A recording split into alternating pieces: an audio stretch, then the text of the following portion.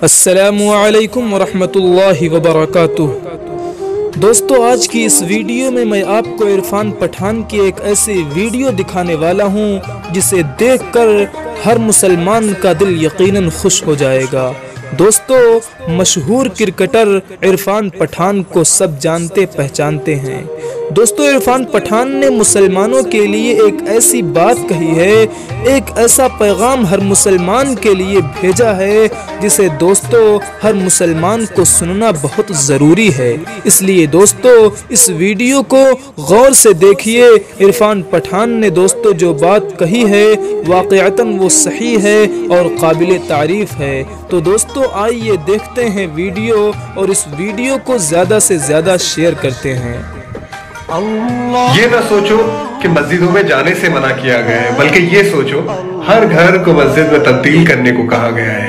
ہماری طرح ہمارے گھر بھی گنےگار ہو چکے ہیں۔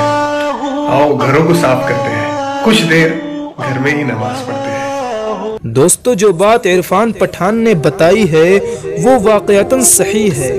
دوستو، اور جو بات ہماری گورنمنٹ اور ماہرین کی طرف سے آ رہی ہے، اس پر دوستو ہمیں عمل کرنا چاہیے۔ اور دوستو، ہم اپنے گھروں میں زیادہ سے زیادہ رہیں، تاکہ اس کورونا وائرس جیسی بیماری سے ہم بچ سکیں۔